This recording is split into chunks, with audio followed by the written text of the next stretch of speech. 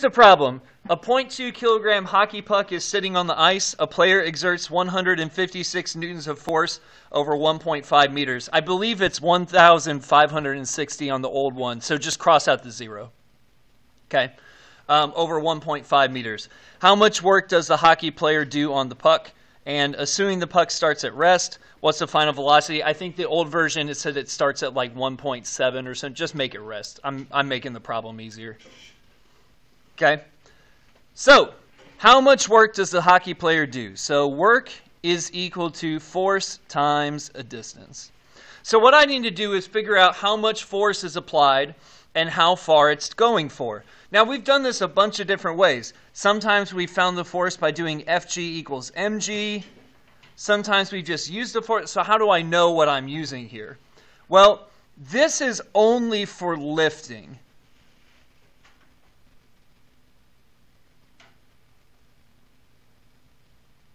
Or for gravity or things like that. We're not lifting a hockey puck. It says they exert a constant 146 meter uh, newton force on it. So that's what F is. F is 156 newtons. And it does it over 1.5 meters, so D is 1.5 meters.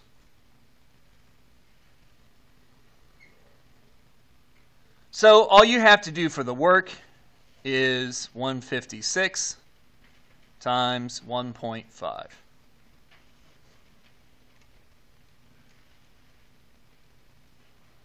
Gives me 234.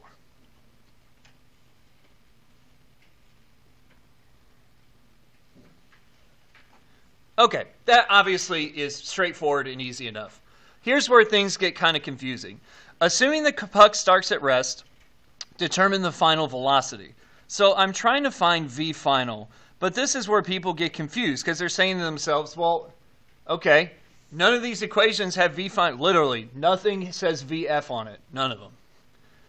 So what we need to do is we need to jump back in our minds to notes two from last time. Specifically, the very last thing I said, which was what measurements are kinetic, kinetic, and potential energies most related with?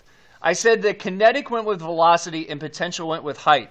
So as soon as I see the word final velocity, I'm actually thinking in my brain final kinetic energy. That's actually what I'm thinking. I'm thinking kinetic energy. I'm not thinking velocity, I'm thinking kinetic energy. So, as soon as I start thinking kinetic energy, I say to myself, okay, where does final kinetic energy come in? Well, final kinetic energy comes in here with delta KE. Change in kinetic energy is final minus initial. And the change equals work. So I'm going to be doing this equation here. W equals delta KE.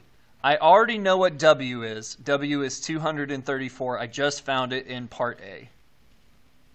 So now to do the delta KE, we're doing that final minus initial like we've done before. So just like last unit, change in kinetic is final kinetic minus initial. So if I want to do this, I need to find the final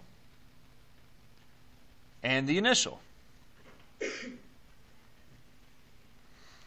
So Final kinetic is 1 half times the mass times the final velocity squared.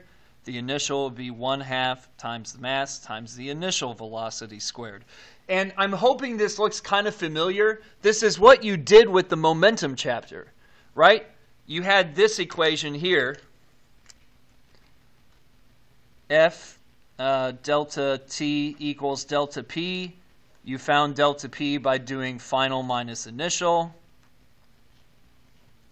you would find the final by itself, find the initial by itself, and then solve it.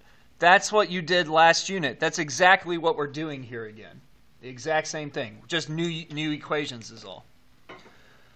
So, KEF, 1 half mv squared, so 1 half times the mass, which is 0.2, times the final velocity. It says what is the final velocity, so it's just v squared. And again, the squared is from the equation. I'm not just making that up. Okay? The initial 1 half times the mass times the velocity at the beginning, which it said starts at rest. So VI is 0. 0 squared is 0 times 0.2 is 0 times 1 half is 0, so it's all 0. Half of 0.2 is 0.1, so this is 0.1 v squared. And now I'm ready to do the delta KE part, final minus initial. So the final is 0.1 v squared. The initial is 0. And now all I got to do is solve.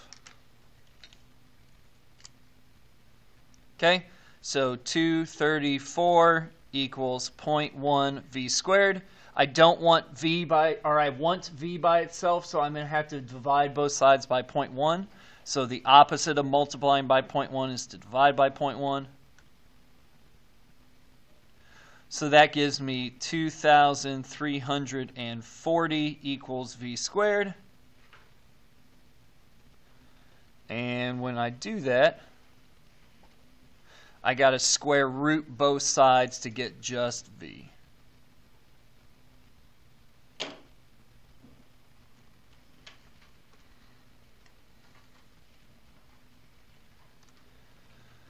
and I get a final velocity of 48.4 meters per second.